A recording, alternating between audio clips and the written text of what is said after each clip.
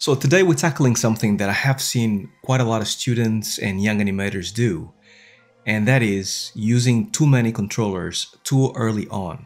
I think that is worth its own episode because this issue is so prevalent that I really think that I need to explain why you guys should keep it simple in your animations. So, without further ado, let's get to this new episode.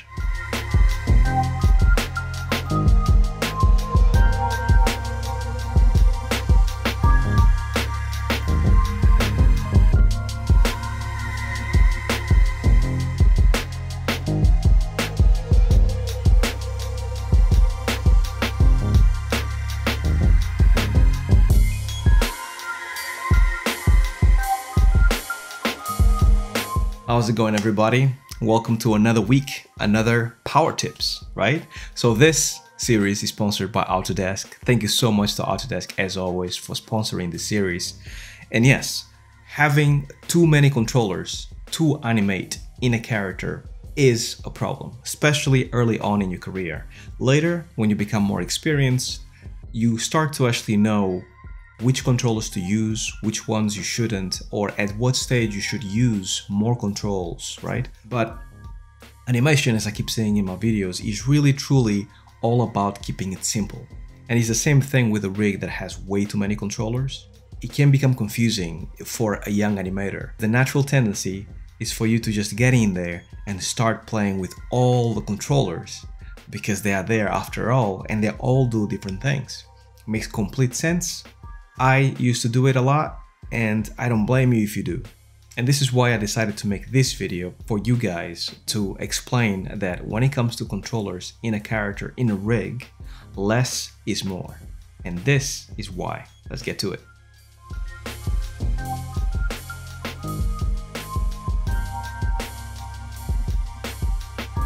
Right, so as you can see, I have here Woody. This rig is courtesy of Agora community.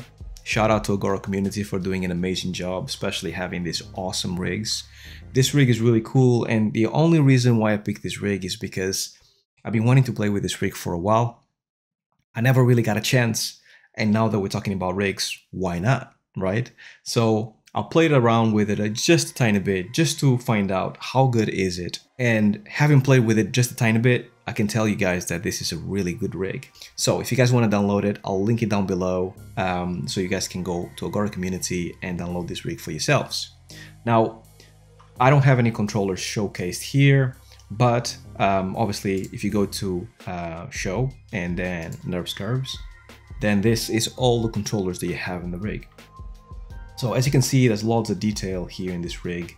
Uh, it looks pretty, pretty, pretty cool. Um, so many things that you can do with this rig. So me, as a young animator, this would have made me so happy. And the first thing that I want to do is go through the rig and try to find out exactly what each controller does and why do I want to use it. Now, this step is normal for all animators. So even for me, if I download this rig as an experienced guy, I want to go in and try to kind of like discover the rig, right? Discover what things I can do with this rig and how much I can push my animation. So there's loads of good stuff here. You have the generic uh, IK hands, that that's cool. Uh, the finger pickers uh, look really, really nice and, and, and straightforward. And they work really nice for all angles and they have a little bit of that like rubber feeling, which is nice, allows you to actually get a little bit more of that cartoony feel you also have these controllers here that are almost like uh, pink. Allows you to kind of like deform the hand further. Another cool feature of this rig is that it has IK fingers. IK fingers are beautiful, I love it. And if you turn it on, then just by deforming the tip of the finger, you can deform the finger and get the finger to do what you want it to do which is pretty cool, minimizes the controller, it's awesome. It works pretty much like a leg, that's the way you can see it. You have the knee here, and then here you can actually move the knee around. Nice feature, really, really awesome. Now, this rig, I can keep going on. Um, it has like a little pouch that you can move around and it feels very much like fabric and, and, and, and nice. It has facial controls. The facial controls are very detailed. Uh, you can get a lot done with these facial controls. Really, really cool. The hat is deformable. Um, you can have different pivots on the hat, which is pretty nice. So you can actually kind of like pivot the hat through here or here or the tips instead of just having one cog for the whole hat, just like you have it here. Normally that's how it works. Uh, you have the, the head controller, this is standard, and that's much, much more. But we're not here to talk about the rig. we are here to find out why minimizing your controls is the best thing for you in the beginning. As an animator, if I'm giving an animation to do, or I actually uh, have planned out my animation with reference, with ideas, with thumbnails, I know what I want to accomplish in my animation, right? So thinking about your animation, let's say it's body mechanics, right? There's a lot of things that you don't need that are showcased here in this rig that you should hide so you don't see them all the time as you're working on your body mechanics. And this is what I mean about minimizing your controllers because if you showcase all the controllers, guaranteed you're going to be very tempted to use controllers that you really don't need to, right? So if I just want to do body mechanics and if I'm just doing my block out, right? I know for sure that I don't need facial controllers, for example. So all these rigs, they have normally like a controller. It either is a base here or a specific settings controller like this rig, it's really nice, um, or the visibility controller.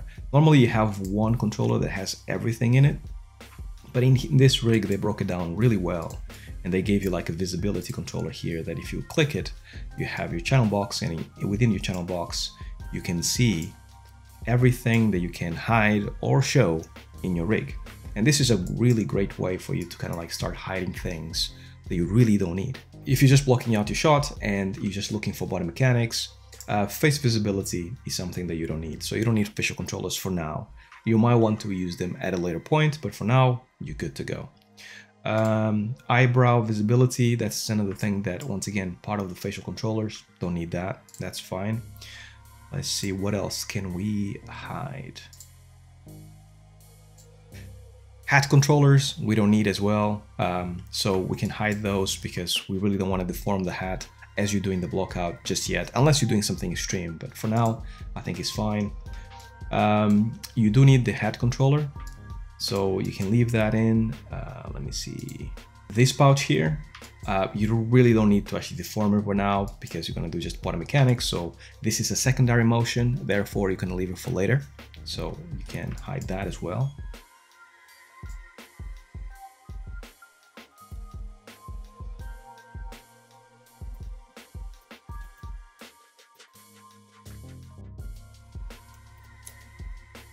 Okay, so that's as many things as I can hide through here that are of interest to me.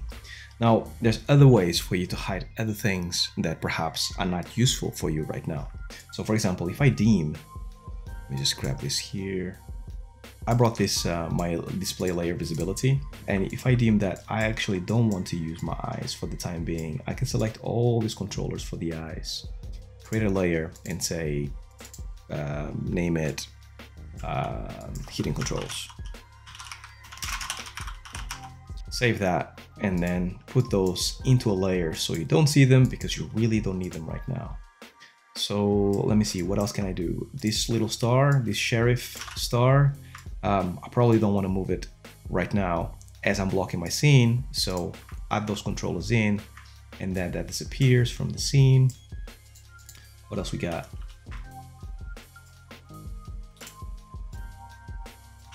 Foot controllers are fine. Uh, let's look at these fingers. So for these fingers, um, there's like, um, I want to, I decided that I want to animate my fingers in IK to keep it to the very minimum and because I'm a big fan of IK fingers. Now, IK fingers not, is not for everybody, but in this case, I want to minimize my controller so I have to deal with the least amount of controllers possible to achieve the animation that I want to achieve. So I want my fingers all to be in IK.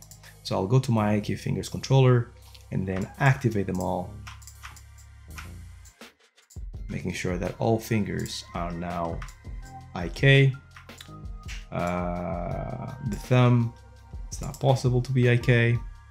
This controller here, I probably don't want them for now, right? So I want to hide these controllers under my layer, hidden controls, put them in there. I don't want to see them. Let's go to the other hand, do the same thing. Go to all these settings on this rig and then go FK go to IK, stay there, and then I'm gonna like select all these controllers right here. Put them under hidden controls, and then they disappear.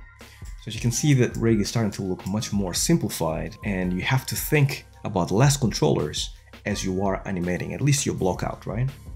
You will bring those controllers back as you need them, as your animation gets better, but for the majority of time, since this is a body mechanics piece, this is going to be the controllers that are going to give you the foundation of your animation. So let's just see if there's anything else that I can hide that I don't need. Oh, yeah, like this thing here looks really cool.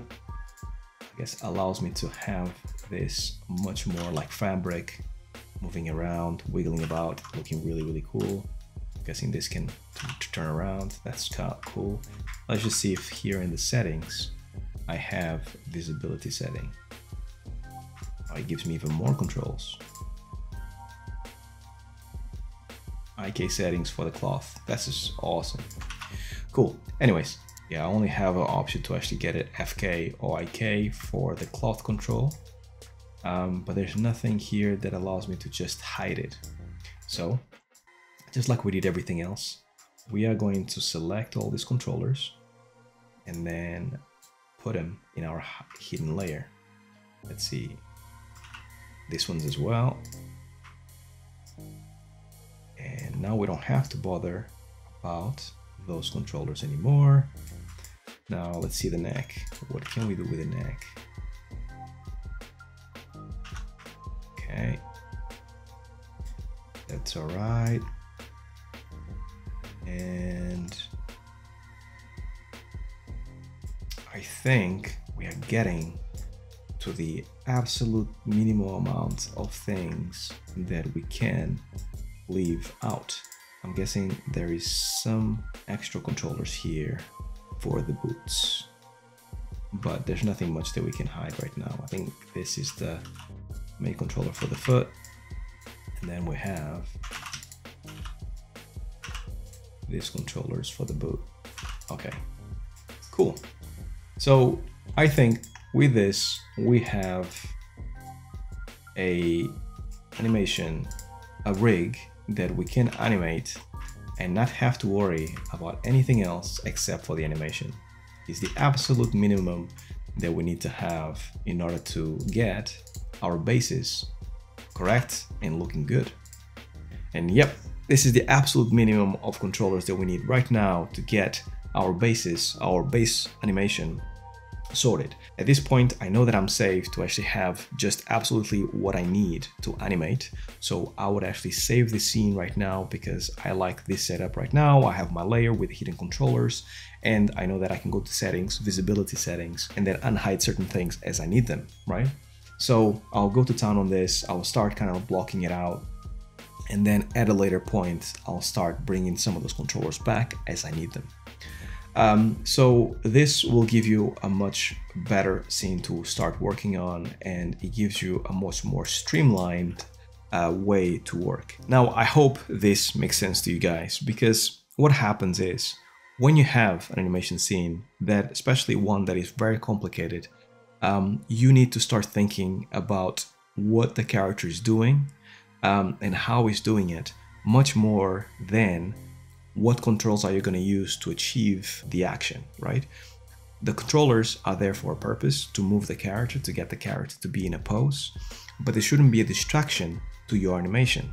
So what I'm trying to say here is that basically use the bare minimum controllers that you can to perform the actions that your shot needs, right? So if you were to do a facial animation only, there's very little in the body, you will be the reverse of this. You just leave your facial animation controllers on and then you kind of hide the body controllers and then you work on that facial animation because it's the most important thing let's say a close-up shot right and then when you need the body then you bring those those controllers, right? And you can switch them on, right? Like let's say like you want to animate the body first and then the face. Do the same thing. Leave the body, hide the, the face, animate the body, and then do the opposite, right? So this is a much more streamlined and better way for you to animate and it simplifies your thought process as you are animating your shots. I hope that makes sense to you all. Um, and I think that's it. I'm gonna keep this one short because I think this is an important subject for you guys to digest. This is the very first time that I use this rig, so there might be settings, controllers that I haven't seen or I didn't really touch, but it's a really good rig. Go ahead, give it a try. And if you have any other tips that you want to share with others here in this community, in this channel, then please go ahead, drop a comment down below and let us know how you go about hiding your controllers and how you go about animating with as minimal amount of controllers as possible. And that's all I had for you guys. So as always, many thanks to my Patreons for supporting me on this channel. If you're interested in becoming a patron, then feel free to head over and then check my perks because it's pretty cool and I give you guys behind the scenes when I can and also um, I drop videos ahead of time so you guys can watch it before I drop it here on YouTube. So that is all I had for you guys. I hope you guys have a great rest of the week and until then, stay well, stay safe, peace.